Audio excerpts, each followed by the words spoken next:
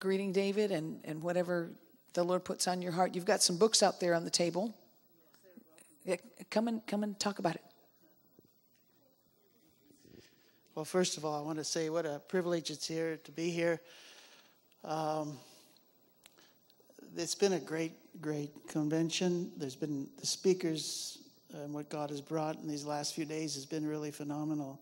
Uh, the thing that I felt really strongly this morning about it was so good to see that I know that when Sister Gwen died and Sharon took over, uh, we said, God, help her, help her. There's a big hole to fill there. And we often felt a real burden uh, for her. And this morning, as we saw God orchestrate the board and things happening, and our burden was too, what about the next generation? Because many of the people that were part of End Time Handmaidens were elderly people too. I mean, we're, we're, we're growing older too, but what about the next generation? And today it was such a such a confirmation of the faithfulness of God as He put things in place, structure, and you know, God is so faithful. And I, I just want to say we are we're for you. We're standing with you, beside you, and uh, we praying that God will just pour out His blessing upon the end time handmaidens and you know, we haven't been intimately involved over the last years. Our pathway went a different way, but we've always loved the people and we always believed in the vision of what God gave. So we're here to say today that God is going to do great things through end time handmaids and servants, and we're so thankful for what God has done, how He's established and, and really a structure here and, and, and infrastructure that is going to be purpose for the next generation and I was also very touched uh, uh, about the, the last speaker. Uh, is it Ian from UK? Um, he's interesting to listen to. I enjoyed him. But it, it, uh, I can just say, I can see that God needs to give us wisdom uh, to relate to people. You know, we have great truth, and God has given us great truth, but we have to be relatable to this generation we have to have the wisdom of God to go into places where angels fear to tread. And sometimes we have to hold our peace and just just work on relationships and build things. But the, what his testimony this morning was was really great. I can see how God is really involving people in government and how we, we really have great hope of what God is doing. So for Sigi and I, we, we continue to travel around the world. We had a great our uh, inheritance in South Africa. That's really been our second nation over the last 30 years. We go back there twice a year. Uh, you know, it's something that God puts you in a certain place and He gives you favor in that particular place. And that's where we found the favor of God in South Africa.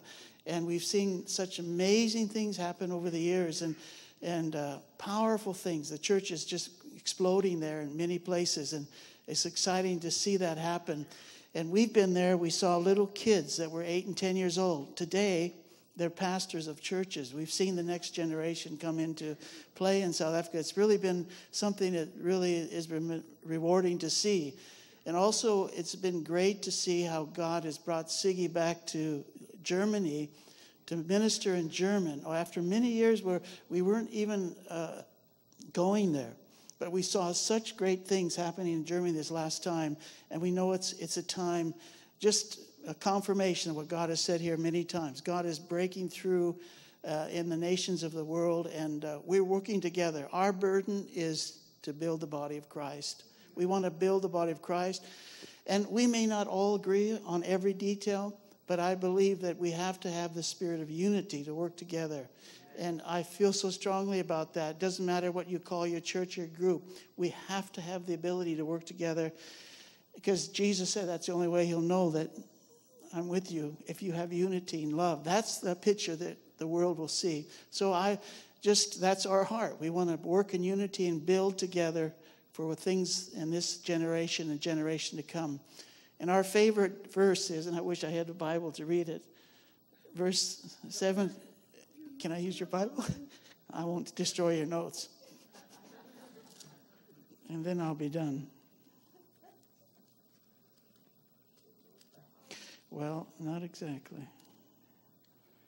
Some people are gifted in preaching. That's not my gift.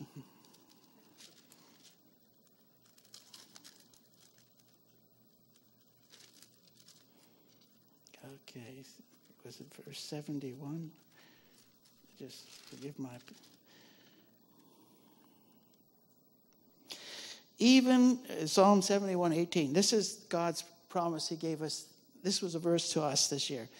Even when I'm old and gray, do not forsake me, O God, till I declare your power to the next generation, your might to all that are to come. Amen. That's God's promise to us. Thank you. You're going to be surprised what I'm going to read. Thank you. This morning, Ecclesiastic chapter 3. My brother started off. I had to smile about it.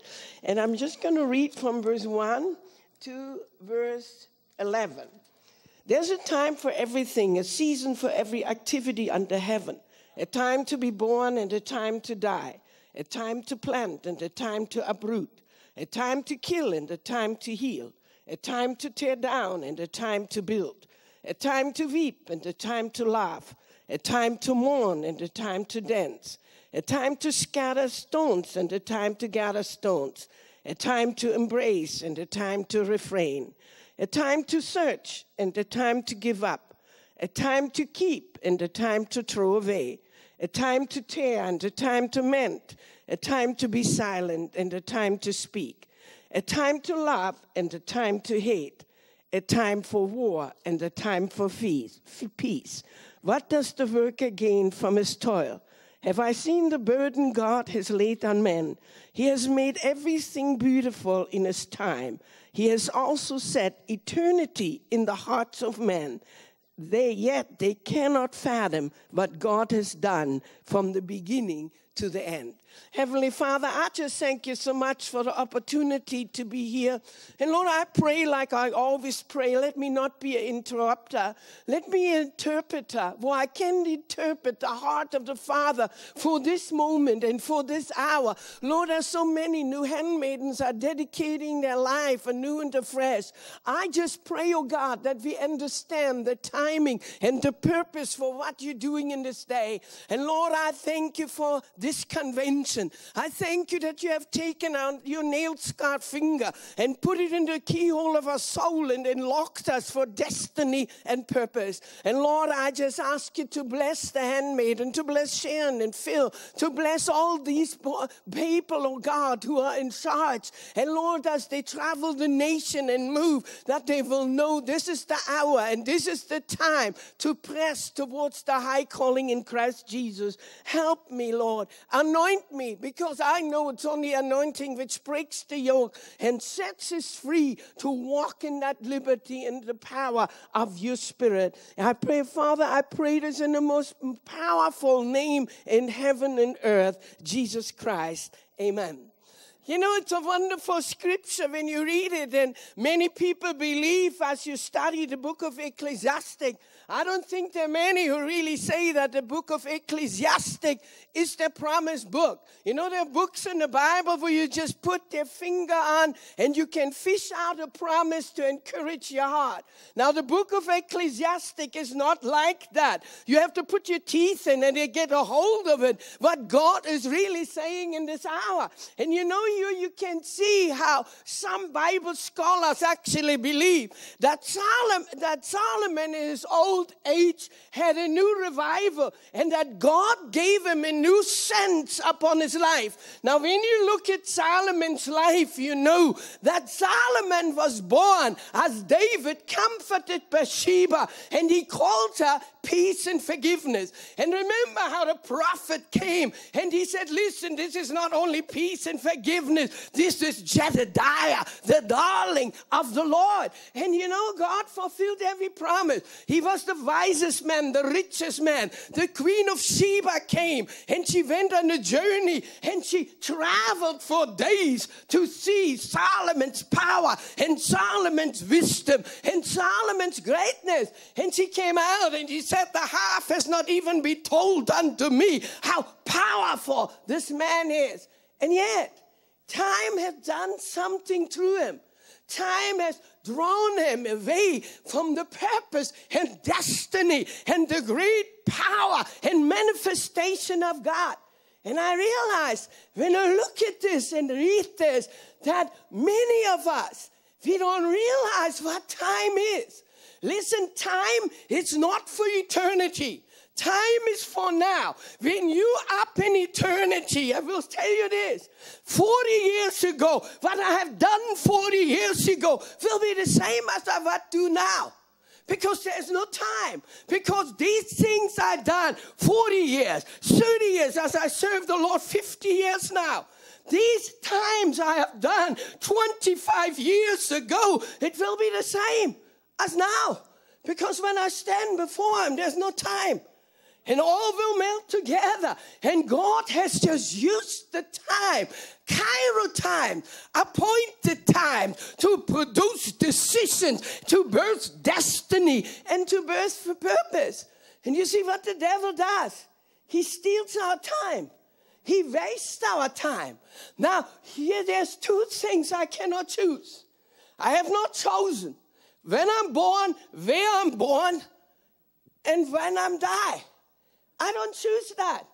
I don't know when I die. I don't know when I lay my life down in America and South Africa or Europe.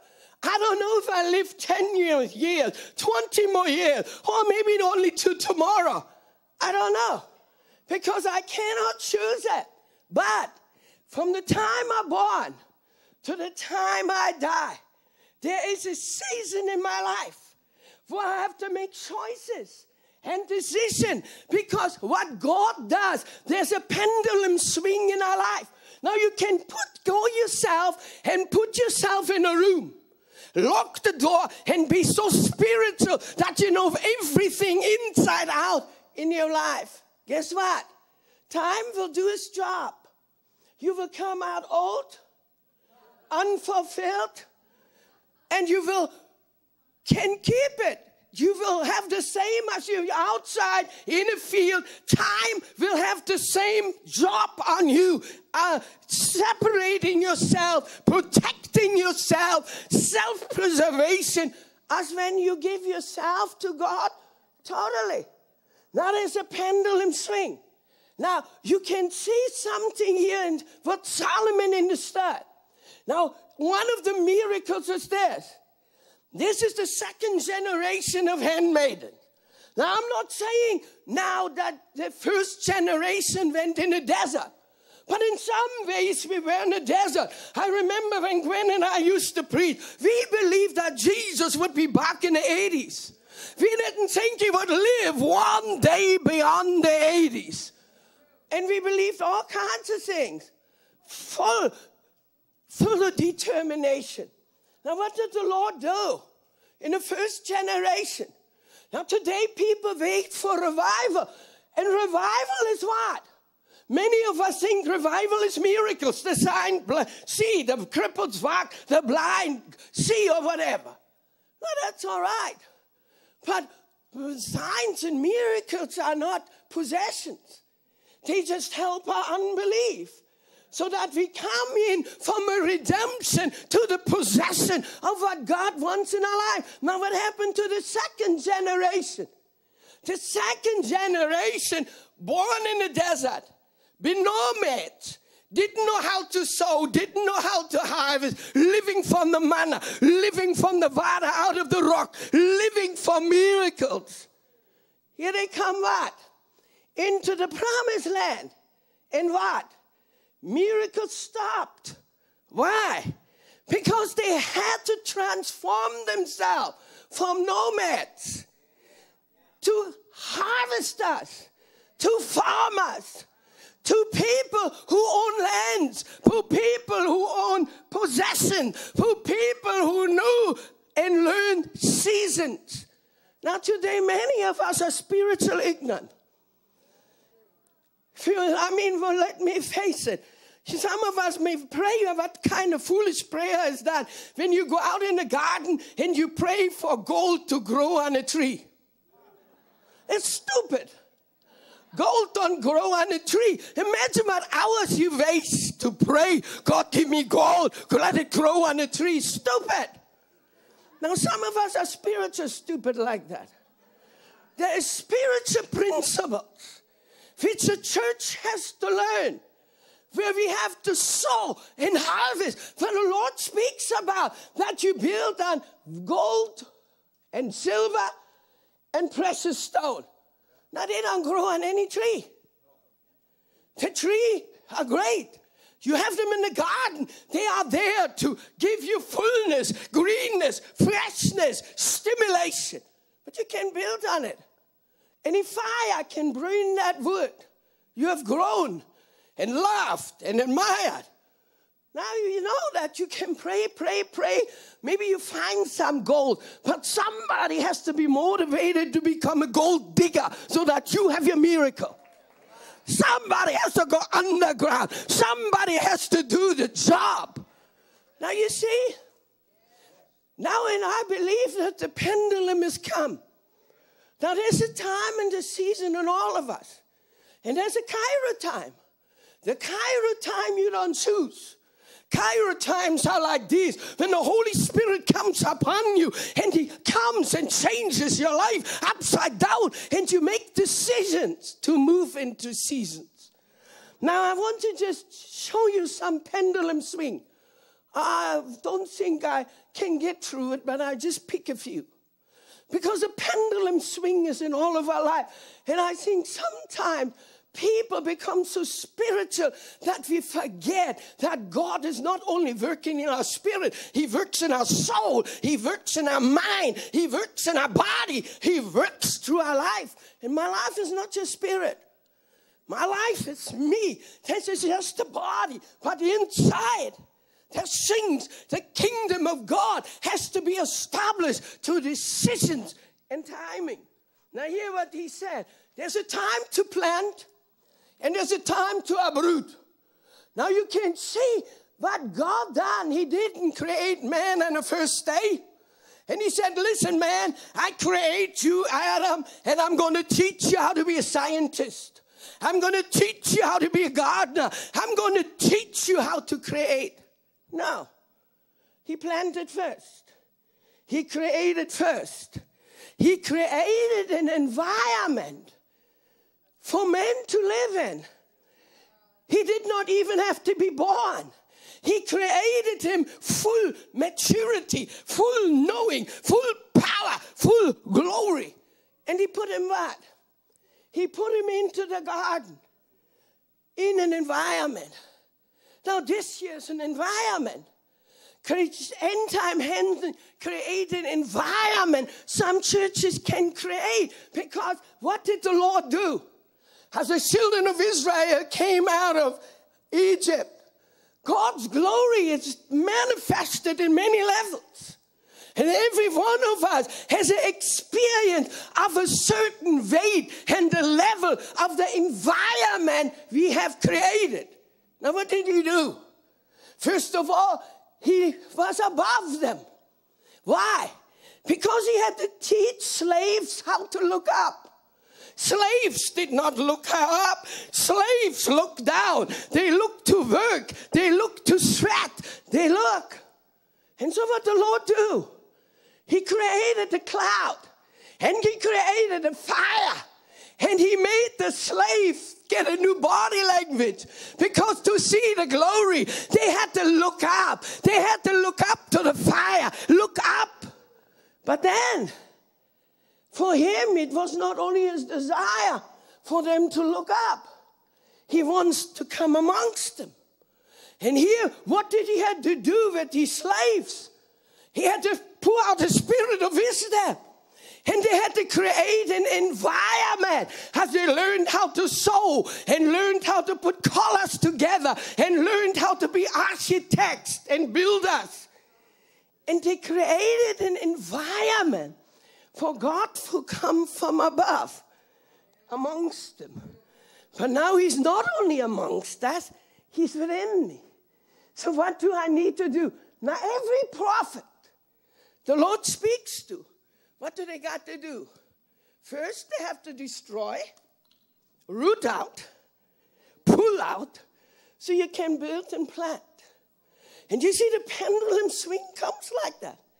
There's some things for us, for God to renew Himself in my environment what I have to do to root out, to pull out. So God can what? Build and plan. There's a time to plant and there's a time to uproot. Look what he did to Gideon. The Gideon was from the tribe of Manasseh. The tribe of Manasseh means he makes me forget. And what did what happened to Manasseh? Why did the Lord Jacob crisscrossed his hand and he blessed Ephraim before Manasseh? Why? I said, Lord, why? And I realized something. The reason what happened to Manasseh, have you know what? Joseph created an environment. What did he take this little boy?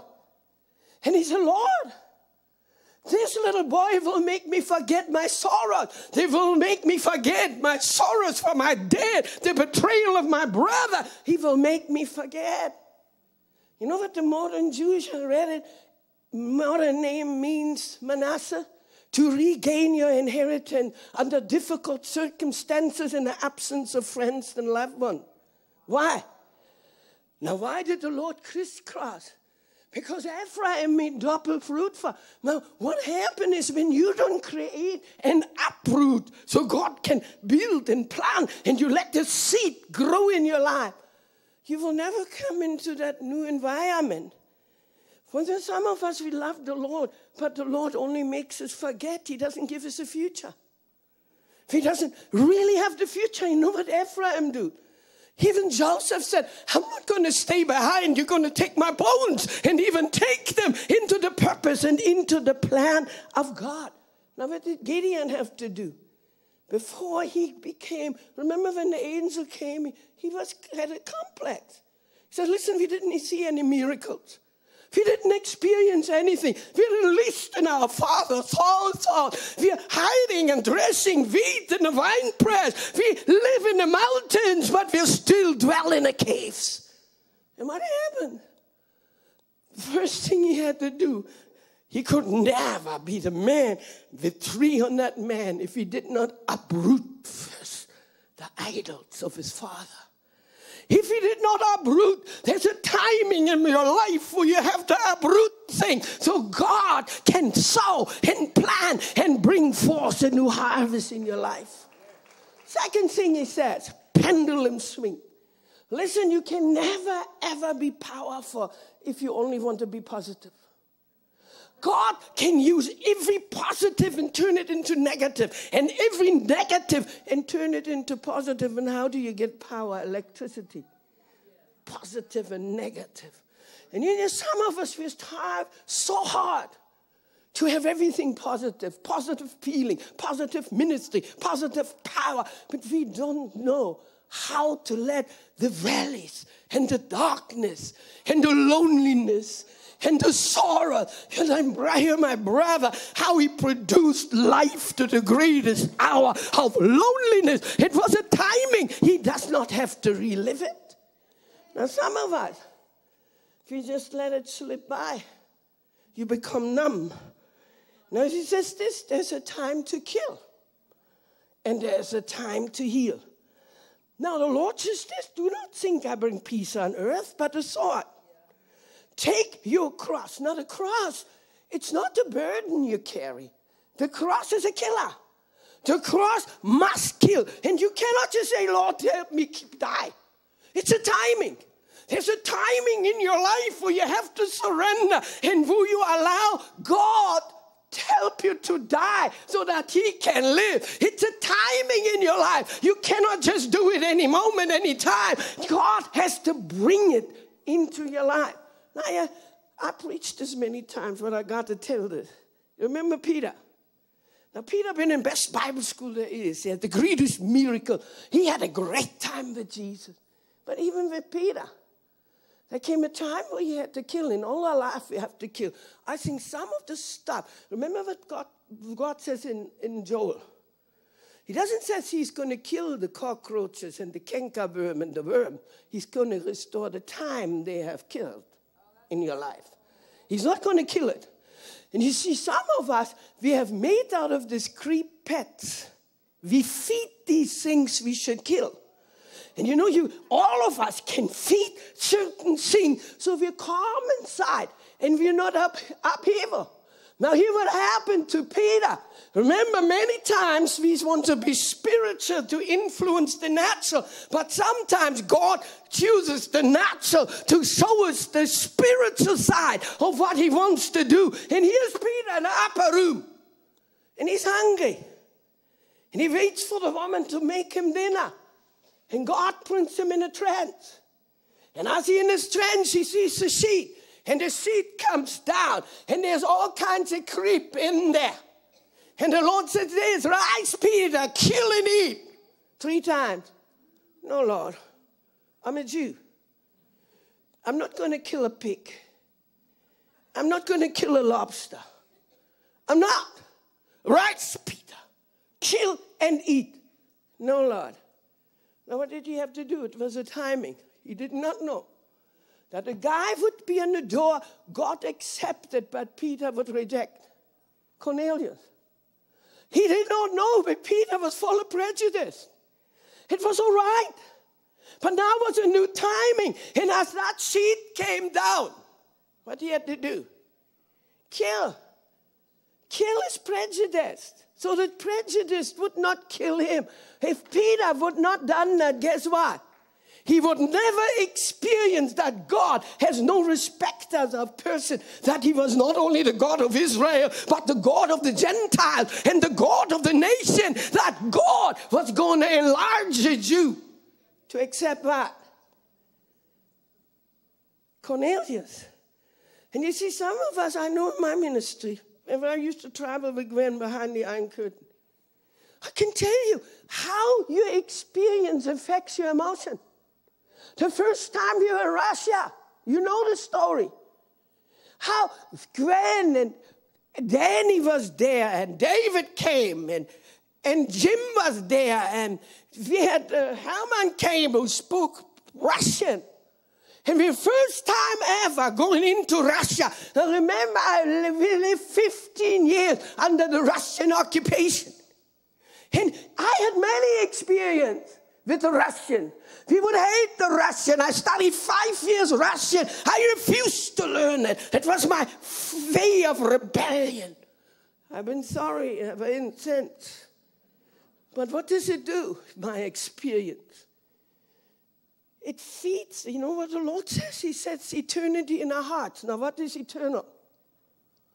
There's only three things which are eternal. Everything passes. Tongues passes, prophecy passes, everything which is in part, because the fullness of time will come. Now, what is eternal? And what does the enemy steal? There's three things, I call them triplets. A threesome cord cannot be broken. Now, these three things last. Eternity starts within us faith, hope, and love. These, these three things are eternal because they are there. Bring, eternity within my heart. And what does the enemy wants to kill? That's the things they kill. You can speak in tongues, you can prophesy and have no faith. You can sit in church and have no hope. You can believe how many people are depressed downhearted, how we struggle to love.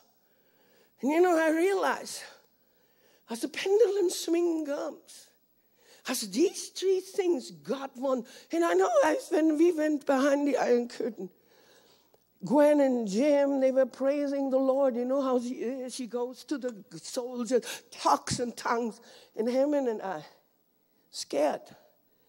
15 years to board us since I'm six years old. I was shaking like this. I couldn't even look at these guys. Why? I loved the Lord. I had no hope, no faith. I thought I'd be done right there. What happened? I had to turn my face. I looked at Herman. He was five years in Polish slave labor camp. For 19 years old, the Russians tried to kill him. And I looked at him. He was white as sheet. We loved the Lord, but we had no faith. I only knew that hope would bring through me. And what did I have to do through all these years? Ten years I smuggled Bible. What did the Lord have to do? Kill what killed me. Kill within what killed me. And I know if I wouldn't have done it, my ministry wouldn't be the same. If he would have not gone to the underground church, I would not been the same because I had to kill what kills me to take my freedom and my liberty. And there's some things in us which kills us. And we got to kill it. The cross, to be free, you can never just be free because you have a good Christian lifestyle. You can only be free when God comes with his timing. And the pendulum swing comes, and suddenly, in the time of your life, you have to surrender where you want to rebel. You have to give up where you want to run. There's a time to kill, and there's a time to heal. In the stripes, we are healed. Remember Elisha, he, when they come to the first thing, when you come out of, out of Egypt, you don't get sweet water, you get bitter water. The prophets get bitter water, Israel. And what happens when bitter water comes and it does not refresh your soul? Well, you complain and you grumble. And God had to make the water sweet so they could drink it. Now, I just want to pick a few. The Lord speaks about there's a time to laugh and a time to weep.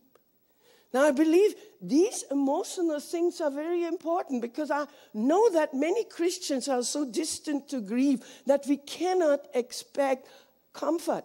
Now, the Holy Spirit is a comforter, and if He cannot comfort our soul, and I need comfort in my heart and comfort in my soul. And you see, so there's a time to weep. Now, what's weeping do? When you laugh and you can weep, it takes away complacency. Jesus, can't you ever wonder why Jesus wept on Lazarus' grave? He knew he's going to raise him up from the dead. It says he was angry.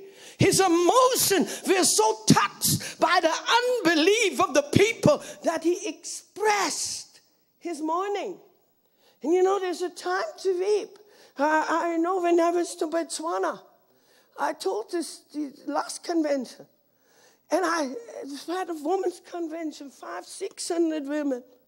And I said, Lord, what do I preach here? And the Lord says, these people need comfort. They're distant to grief. They don't know how to feel. They don't know how to laugh. They, they have become spiritual leprosy, where you untouched, where you comprehend certain things, but you don't feel it. God don't touch my heart. He doesn't touch my life. And you know, as I start preaching, I don't know what I preached, but I gave an altar call. And these people came running to the altar, screaming, crying, howling. And I said, God, what did I do? I thought I'm going to comfort them. He said, Yes. They cannot be comforted except they feel pain except they feel what they suffer, except they're touched. And you know, in all our life, there's a time to mourn, there's a time to weep, because and there's a time to laugh. And you see what spirituality will do it will bring you on an uh, even keel. For you pray everything away and believe everything away, but it doesn't touch your heart. It doesn't touch your life. It doesn't touch you. And everything we hear is a statistic, but it doesn't bring a feel. I know it said, you know, us women, sometimes we're the greatest intercessors when we're hurt. I remember one day many years ago. Oh, when you're in ministry, you can get so hurt. And I cried. And I interceded. And I prayed. And I said, God, nobody loved me. Nobody understands me. Lord, what did you do with me? The Lord says to me, Sigi, do you think I'm a man? That your tears move me? I'm not a man. I'm God. I see the intent of your heart. Come on now, gird your goins and your land. You know what it done? It made a difference. I cry, but not any more self pity. When I felt sorry for myself, I know I can't cry it out. There's a time to cry for a nation, time to feel for people, time to express your sorrow, time to express it. But you can't do it. Seasons. And if you let the seasons go by, you know how many of you suffered and you never cried? You have become depressed. You're a depressed eagle. You can't fly. You have an eagle, but you lost the ability to fly. You know what flying means? That you hey, get over every limitation. That's what flying means. God doesn't say, I give you wings to fly, you grow wings. That means every limitation, no limitation is higher than the ability to rise above it. And you know, for you and I, to rise above these limitations in my life and in your life, you got to be touched in your emotion. You can't just go out here and think that you don't need to feel nothing. It's a season. He said, if you don't know how to cry, you don't really know how to laugh. Now, laughter means, oh, we can laugh in the spirit, is all right, ha ha, a release. But I'm talking about expression of joy. Because the joy of the Lord is my strength. For that joy comes from inside out like a well. And you can't have it if you just live on an even keel. There's a time. It's good to express sorrow, but you can't stay in sorrow. Then God comes in His time of comfort and the time of laughter and blessing. You need to laugh. Then He says this there's a time to mourn and there's a time to weep. Now, mourning and weeping is not the same. Weeping is a response to something which happens to you. Mourning is a time. What does mourning do? Mourning takes your identity away. When you see a king, in those days, every person who had a profession showed it in their clothes. You recognize the king, you recognize the Levi, you recognize the priest, you recognize the shepherd. They didn't need to tell you, give you a card. You knew it on their clothes. But when the morning time came and they took off their identity and they put on sackcloth, you could not recognize the king from the shepherd and the Pharisee from the trader because a nation mourned. You know, there's this amazing scripture in the Bible about the law of war. Now, the modern Christian doesn't understand the Old Testament because we only understand Jesus, but not God the Father. And Jesus did not come to do his own job, he came to show who God the Father was. Now, here, this amazing scripture. I use it many times. It's a scripture of war. He says, when an Israel troop comes into a village, they were not allowed to take captives. They had to kill everybody except the virgin. A woman who has not known a man, he said to the Hebrew soldier, If you like the woman, take her and make her your wife. But she has to go to one month of mourning, take off her clothes, cut her nails, cut her hair, and mourn her mother and father for one month. And you know, imagine that in the natural. They're just humans like us. Here, God, He takes you, He loves you, has adores you, He saves you. But they kill your mom and dad your brother and sister. Can you imagine the anger? And you know how many times our mourning today has turned into anger?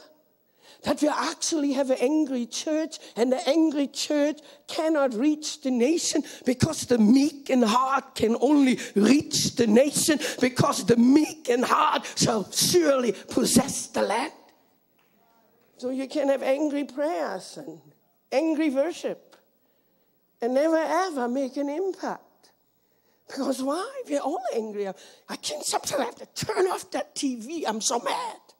I'm so mad what happens to America. I'm so mad that America gives up their freedom and their liberty. I'm so mad I came here because I wanted to be free. And America gives it up. I'm mad. I turn it off and I mourn. Because if I don't mourn, I'm angry. Mourning breaks my anger, and it comes when I mourn for America, weep for America. I've put on my mourning clothes. I say I have to kiss this nation goodbye. They don't get it. They don't get it, the church. They're so worried about their lifestyle that they don't know how to mourn for values which are lost for generations upon generations. So, what a woman do? It's a time to mourn now. Because if you don't mourn, you're going to be mad. You're going to be angry. And if I'm angry, I lose what I pray for. I can't get a hold of that. What God does. And what does woman do? Mourns. Mourns her mother and father. Mourns her lifestyle. Takes off her beauty. And after one month, she decides, or he decides, if that woman will be his bride, to be his wife. You know what transformation had to come? She can't mourn on a wedding feast. She has to dance. He has to come in harmony with the land she didn't know, with the culture she didn't know. She has to play a melody in her heart for she flows in harmony. Do you see how many of us? And I say, God, all of us.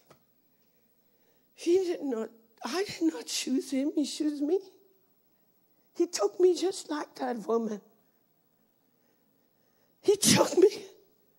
I had to mourn. My life, I had to mourn. I remember when I became a Christian, but I had to give up and I was mad.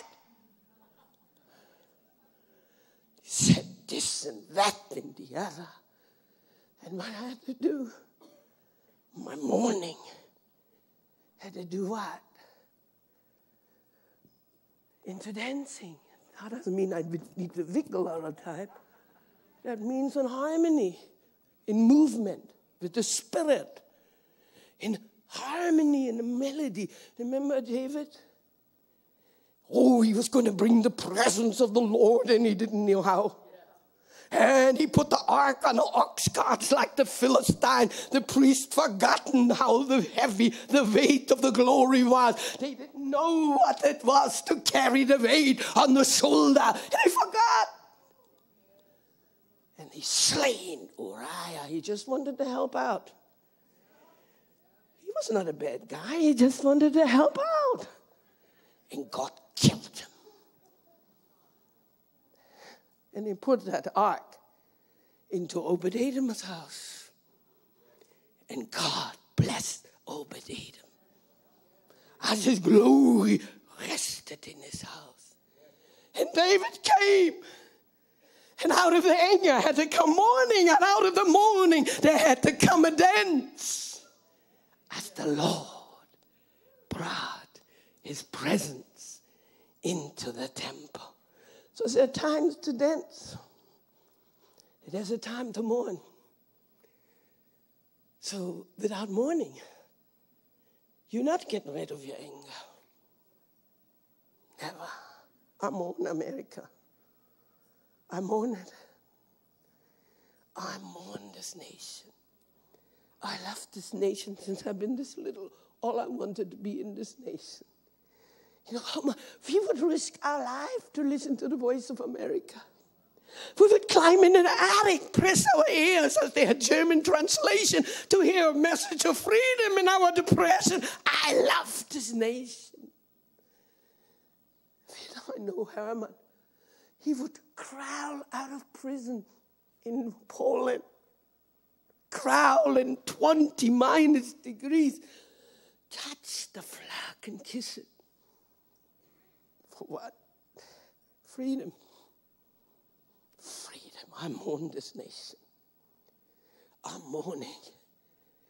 But I believe out of my mourning, God will give me a dance where I can move in a harmony of His spirit to know that not my will, but His will be done.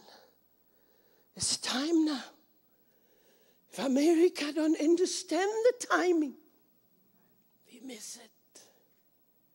If you don't move and let God use the time in eternity, it will not be said with an heart. Let me just, you can see, you can preach almost one hour on each thing, but I just want to use one more thing before I close because you have a lot of things to do.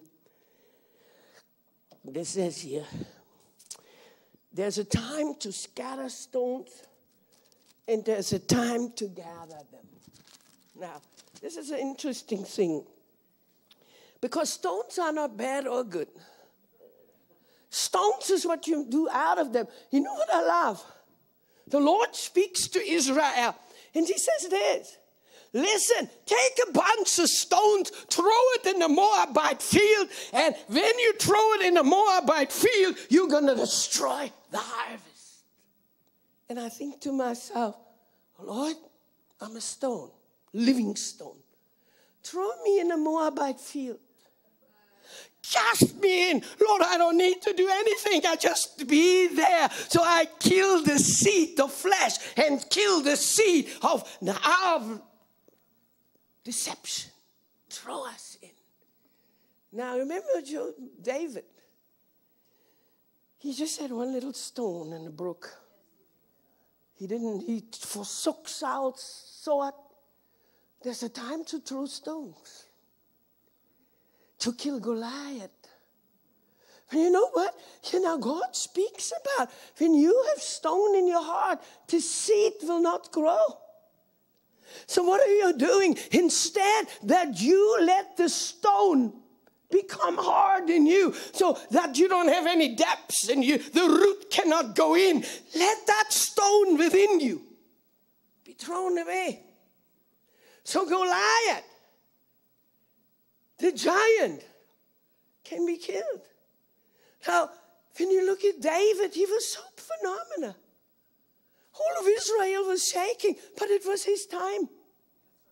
He had a time of the Lord where he knew as he killed the bear and he killed the lion, how in the world is that Goliath gonna kill him? It was a time. You see, they, all the others had the same time. But it didn't do anything. They were scared. All of Israel was scared, including Saul. But only one guy knew his timing. I'm going to get that Philistine. I'm going to get him. The stones are for something else also. Remember, the Lord says, stones are there for memorials. Now, I preached this many times. I believe that many Christians have spiritual Alzheimer's. You know, my mom had seven years Alzheimer. We came from the mission field. The Lord came, took us from South Africa. My mom came from Germany, and I had to look after her for seven years. That's how much he loved my mom. David and I looked after her, and I learned things in the seven years as my mom became my child as I would take her my hand and could go and just become my child. And I realized what Alzheimer's does. If you have no power to remember, you have no future. And if you have no power to remember, you can never be comforted. My mom lived to the Second World War. She raised us under communism, my brother and sister under Nazis. We were always enemies of the state because my mom and dad always loved the Lord. But before my mom died, she had a stepmother. She went out of the house with 16, married my dad with 19. But that stepmother had a power with her for 82 years. And she died two weeks before. I could not comfort my mom. She was shrank. She's strong woman. She shrank. And I come many days and she would stand there shake. Say, Mom, what are you scared of? Oh, is Ma there? No, Mom, she's dead long ago. Oh, really? Two minutes later, Mom, she's dead. Couldn't comfort her. Why? She heard my words, but she forgot. And you see what you experience today is tomorrow's your past. You may be wait for the next convention, for the next speaker, for the next input. But what does it help if you forgot? If you forgot God's impact, God's breath, God's power, and He has not reached deep within you to change and transform us, what does it forget? It's not just your future and your present it's my past. Because in eternity, all melts together past, future, and present. When I stand before God, my whole life is a past. A past. I hear what the Lord do. He didn't want Israel to forget. Every sermon, every new beginning, they had to look into the past to remember what God has done, to remember what He has brought them through. Now, here they are. Second generation, just like the handmaid, move into the promised land. What had they do? Every tribe had to take a stone from the middle of Jordan, carry it out, and build a memorial. To remember what? 430 years of slavery? No how they grumbled and complained. No. The Lord says, Here I built you up a memory so that you remember how I fulfilled my promise, how I brought you to Jordan, and how I'm going to bring you into the promised land. Because if you forget, if you forget, how are you going to conquer the giants? And how are you going to possess the land? There's a time for everything a time to be silent, and a time to speak, a time to love, and a time to hate. You say, no, that, that cannot be to hate. Yes. You know what the Lord say? Those who hate dishonest gain, they shall be leaders. Those who hate dishonest gate, they shall leaders. You know what else it says? Hate evil, you who love the Lord. Hate every false way. No one can to serve two masters. You hate that one. You know what hate means? To have a strong aversion. He said, else he said, if you don't hate your father and mother, and some translated, if you don't love me more, that's not what it says. There has to be, if you don't love me more, if you don't have a strong aversion, it's a time. It's not all in once, it's a season. For I come and you rise up and you cannot just compromise. You got to hate unrighteousness. You have to have an aversion against sin. You cannot compromise and grow if you don't hate sin. If you don't hate the things in your life and you make every lovey dovey. No. Today we want to make everything neutral. Everything neutral in gender and the way we look we're neutral people. And what happened if we make the church a it? We lost the power. The church is not a it, the church is a female. The church is a bride. She's not it. And what the devil comes, he comes and he makes us neuter. For we all become alike. It's an whole society and we don't hate it. We just become what? An instrument in the enemy's hand. Listen, it's a season, a time. You can't choose it. You got to know the seasons in your life. You know, when it's, it's new seasons, how many times I prophesied, and I'm close with this. If you don't understand seasons, you will always want God just to have in your life, but you never know how to get out of your life into His. And many of us, like the bride, she sits in her bed and the Lord shows himself to the lattice and to the window, and she longs for him to come in. But it's not the season for him to come in, it's the season for her to go out. And how can she experience the springtime in bed? The bed is a dream. The bed is intimacy, but it's not a springtime, a new life born out of her. And you see, many of us, we want Christ in our life, but we don't want to come out of our lives in His. It's a season. So when God comes and He shows Himself to the lattice, and He shows Himself to the window of your soul, and He says, Come away, my beloved. Come out. Then you got to break out. You got to, all these things you heard, you can't just force it. I mean, I remember the first Russian tour we took, Gwen and I. Some of you, David's life was changed. We had 40 Americans in the Soviet Union, we took them. Had a life vests on, taking Bibles in, into Soviet Union. And you know, for these American, we took them and we said, listen, when you come into the Soviet Union, you cannot tell them that you connected to us. You got to risk your life. David's life was transformed drastically for that one trip because he had a season in his life he responded to come out of a Montana village, out of a Montana lifestyle. He never thought that he ever traveled the world. And now we're married 40 years. Our kids, some of you remember them, babies. Tammy's going to turn 39 and Ben 37. Time. Can't hold it. Can't hold it. Time is power. It's for this life, for this hour.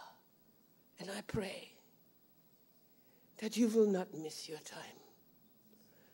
Don't, time is more important than money, than fame than education, than anything. Some of the people can be educated, great lives, but their time is ticking away, producing nothing. There's a time for everything, a season, a life. Learn the timing. Don't pray for gold on a tree. Dig into the ground and find. It's a time to find and a time to search. Remember, some of us, we're not seekers, we're just lookers. The Lord said to me, remember, and I close with this in Song of Solomon, chapter 5. He knocks at the door. Finally, the bride response comes out of the door, and God is, Jesus is gone. I said, Lord, what in the world? Why did you not wait? I mean, you get out of bed finally, you rouse her, and she comes out and she's full of fire. And you're gone. And he says to me clearly, clearly, he said, Sigi, I'm making out of lookers seekers. There are too many lookers. lookers are window shoppers. Seekers are something you only seek when you find lost something. You dig to dig, dig. You dig you find some of the gold diggers in South Africa and mine diggers. I don't want their life. Rubbles and rubbles, carloads of stone before they find that diamond you buy. And that's in the Bible, that's God.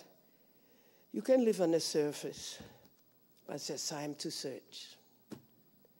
And there's a time to find because you will never search without finding, but you have to take the time to do it. Heavenly Father, I just thank you so much for the handmaidens. I thank you for Sharon and Phil. Lord, how I've watched Sharon and Phil and how they have kept their purity. And Lord, Finn, I just remember how she was such a young girl, only four years, four, only a few years back, not knowing what holds. Lord, how she was loyal, even sometimes, Lord, when she didn't know what would happen. Lord, how she was loyal and Phil loyal. Doesn't matter what happened in their life, Lord, that they knew their timing. Lord, time to weep and time to laugh and time to give up and time to hold and time to just dance and time to just worship. And Lord, I just thank you for their lives. And I just ask you, Lord, that just I'm so encouraged to see what you even have done from last year to this year. Lord, how you have a hope and the anticipation, and that you even brought people with them, Lord, to them who strengthen their hands and give them strength to keep on that vision. Lord, I just thank you that there are so many women and so many men lost in churches, not knowing how they belong and what they can do because they're just there and then they don't know, Lord, how to plug in and how to be used of you. And Lord, I thank you that the handmaidens is a vehicle, an instrument you use to reach people, Lord, only not to reach them, but to bring people into the harvest, to make people whole, to make people, Lord, not only, not people who just fanatic and, and who just spiritually, but people who are sound in body and sound in spirit and sound in mind. And Lord, who are representative for what you're doing in this day and in this hour power.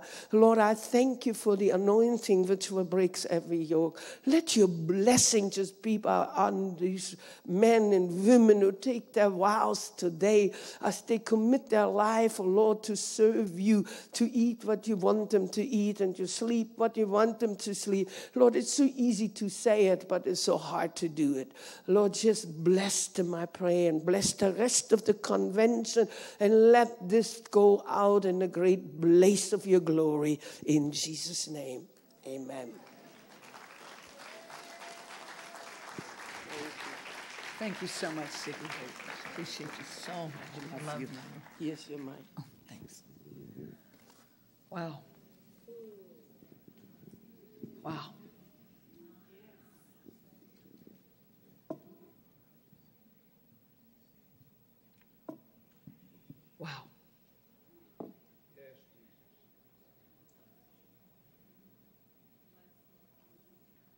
Thank you, Father, for Sigi.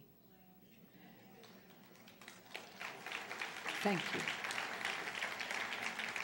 And for David. Thank you for bringing them to us. For the for the treasures that you've poured out through her. Thank you, Lord. We're grateful. We're very, very grateful, Lord. Hallelujah. At this time, we're going to have the dedication of those who are joining this ministry. The very first World Convention